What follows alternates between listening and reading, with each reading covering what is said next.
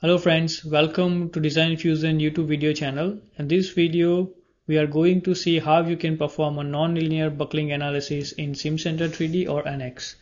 Here you can see I have one C channel and which is 15 inch taller and I have created mid surface uh, in idealized environment and also created a FEM uh, model where I mesh this mid surface using a shell element and assign a thickness right away from the mid surface and apply a steel rolled material to it.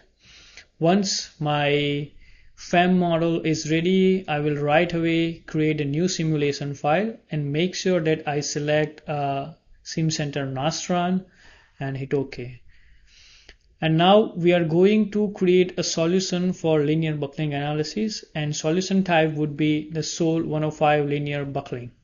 Once my solution is created, I will right away create fixed constraint because I need to fix my base. So I will select uh, bottom polygon edges and fix it. And now I need to make sure that my top can move only in z direction. So I will apply a user defined constraint on the top polygon edges uh, and fixed all the direction instead of translation in z and rotation about z direction.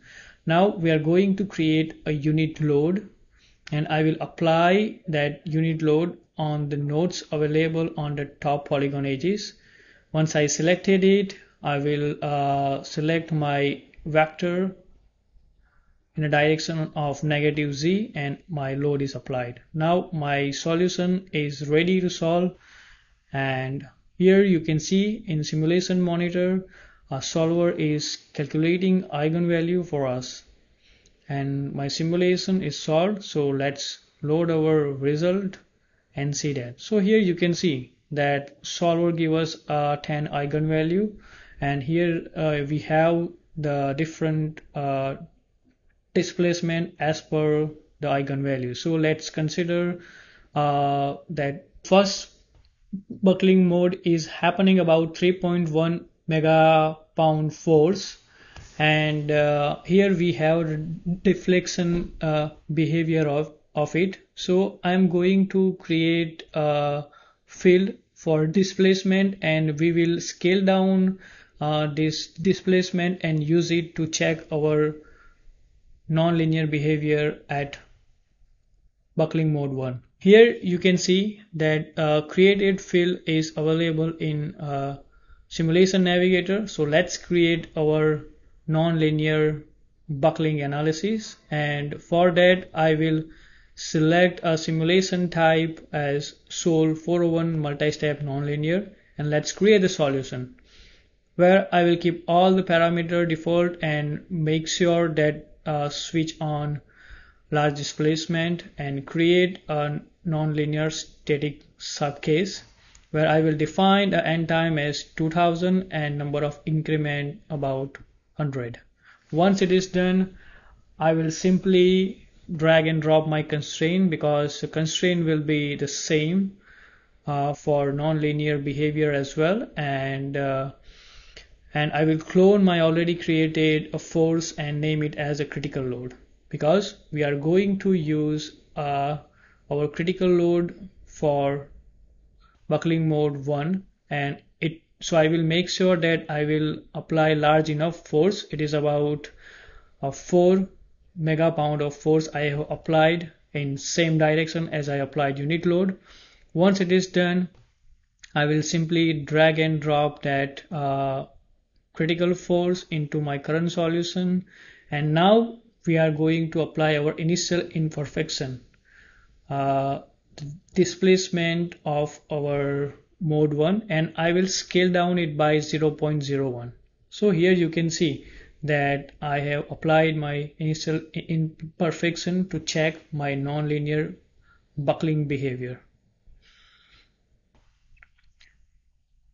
So once it is done, you can right away plot it and review it that uh, imperfection is applied correctly or not. So here it's look good for me. Let's move forward and solve this simulation. So now we are going to solve our solution.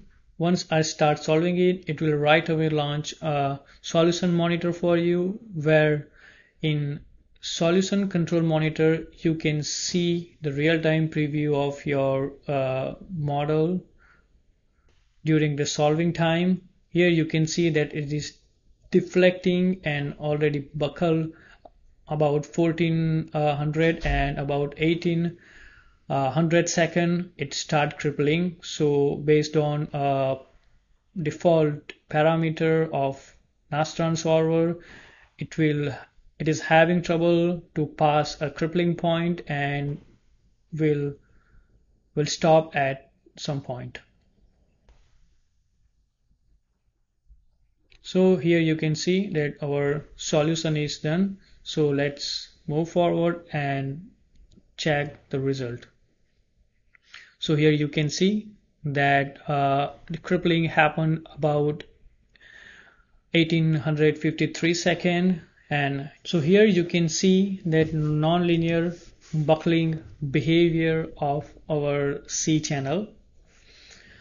So uh, you notice that it's look bit different than what we have in linear buckling mode 1 so the behavior is uh, same but uh, direction of deflection is different than our linear uh, buckling mode so that is why uh, post nonlinear buckling behavior is important criteria to check. And here I have created a time versus displacement uh, chart. And I am also interested to know uh, like what would be the force at that particular time. So I will also create a time versus applied force graph and uh, I will save both graph as uh, AUF so we can create a applied force versus displacement plot and check uh, at which point our buckling and crippling is happening. So let's go to, to the xy function and create our uh, applied force versus displacement plot and I will right away probe it to check the value so here you can see that it's look uh, linear and about our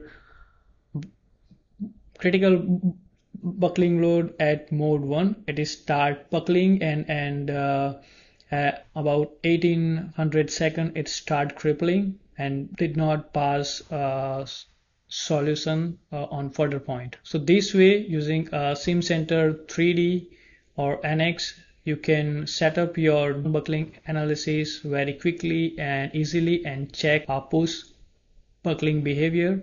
For more video please like and subscribe our YouTube video channel.